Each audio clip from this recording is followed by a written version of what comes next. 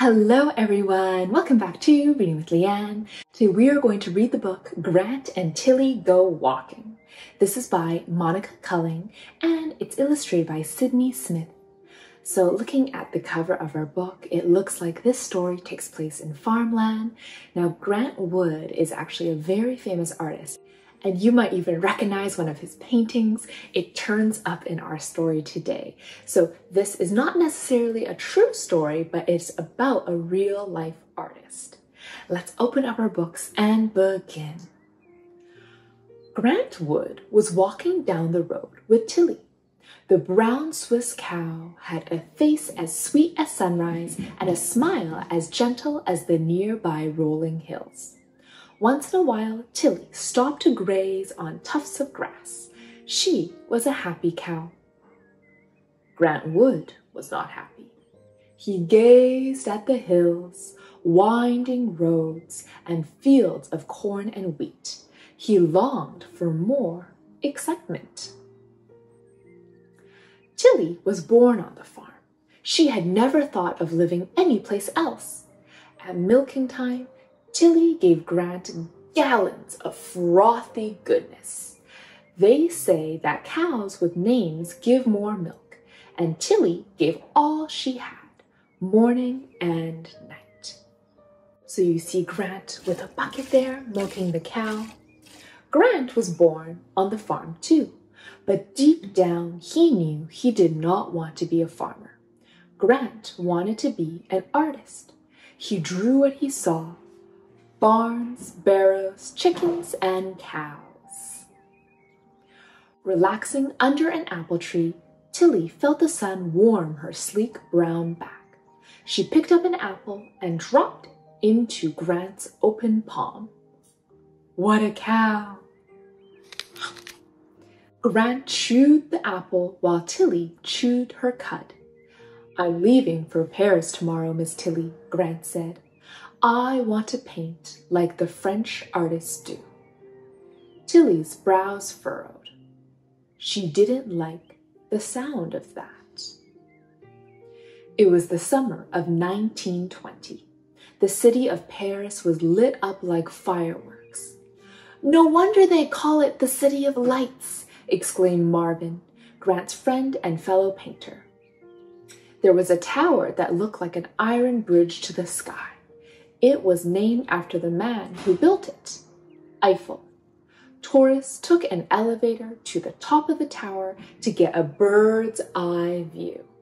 From up high, Paris looked like a sparkling diamond necklace. In Paris, Grant wore city clothes instead of overalls. He wore a French cap called a beret and grew a beard. He stayed up late in cafes, drinking and talking with the other artists. If the folks in Iowa could see him now, they wouldn't recognize him. He barely recognized himself. Back on the farm, Tillie stood at the bottom of the pasture, bellowing a mournful moo. It was milking time, but Tillie's heart wasn't in it. Poor Tillie wasn't giving gallons of milk anymore. One or two pints were all she could muster. Grant's mother tried to cheer her up by making Tillie's favorite oatmeal mush. Tillie sniffed it, but couldn't eat one bite. Tillie probably misses her friend, right?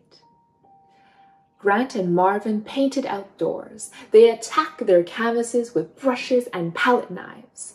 Their lines were bold and bright, and their paintings unlike anything they had painted before.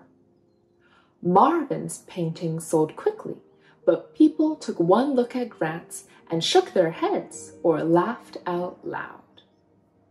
So it can be hard sometimes to be successful as an artist. Tillie no longer went walking. Grant's mother didn't think you needed to walk a cow. Go on, Miss Tillie, she'd say each morning, giving the cow a soft slap on the backside. Get some exercise. But Tillie didn't know which paths to take without Grant. She just stood there and looked down the road. Grant looked different, but inside he was still a shy, quiet man and a slow painter. You need to pick up your pace, encouraged Marvin. Marvin often finished a painting in the morning and sold it in the afternoon. Sometimes the paint was even a bit damp. But it wasn't Grant's way to rush a painting. One day, a woman stopped to look at Grant's work. What is it? she asked in French. Grant's French wasn't the best, but he knew the word for cow. Une vache, he replied. The woman left, shaking her head and chuckling. The painting didn't look much like a cow at all. Hmm. So you see Grant. His beret is on the ground. His vash in vash is on the canvas. His paint palette is there. You see the Eiffel Tower in the back. And Tillie is on the farm, alone, looking at the winding roads and the rolling hills. Tillie was getting thin. She gave little milk now. What can we do? Grant's mother asked in despair. Grant's sister, Nan, sadly shook her head. She had no idea. Grant had a dream, so he's sleeping one night. In it, the fields and farms of Iowa glowed in the sun, and Grant walked the country roads with Tillie. How he missed that cow. Grant woke up from his dream knowing he was going to head home. Heading westward on a train, the farms and fields outside his window made his heart sing. So he's heading back by train. When Tillie saw Grant, she galloped across the field, bawling as she ran. Moo! Moo to you, Miss Tillie, said Grant, hugging the gentle cow's neck. I'm home. One morning, Grant was walking down the road with Tillie. They stopped at a white farmhouse with an arched window. Suddenly, Grant had an inspiration.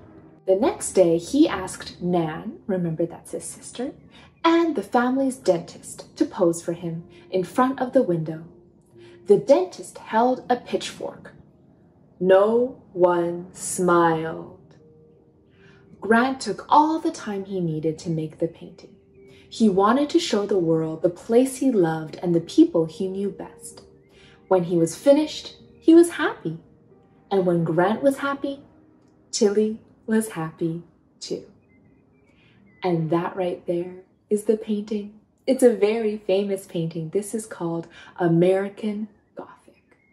and this painting went on to an exhibit in 1930. It won a prize, and our artist, because you this is a real artist, Grant Wood, this is how he rose to instant fame. So at the back of the book, there's an author's note, and this tells us a little bit more of Grant Wood's story. So Grant Wood he was born in Iowa, where most of the story takes place. And as an artist, he thought he had to go to Europe to live in Paris to learn from the masters of art. But as we saw in Paris, sometimes he had a hard time. Maybe people didn't understand what he was making. And then when he returned, he decided to return to America and return to the farmland. He could paint about things that he cared about. So that's where he painted the painting you see in the book, American Gothic, and that was his greatest achievement. So there's an author's note that you can read through at home if you have this book at home or if you're borrowing it from the library. I hope you enjoyed this story. This is called Grant and Tillie Go Walking. This was written by Monica Kulling and it was illustrated by Sydney Smith. Thank you so much for reading along with me.